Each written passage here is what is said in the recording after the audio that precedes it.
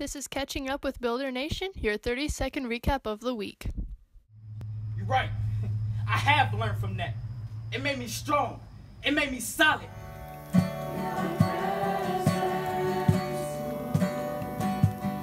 I need everyone in this damn room and at this college.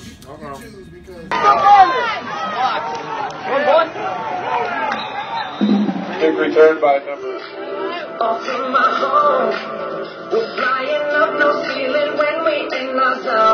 I got that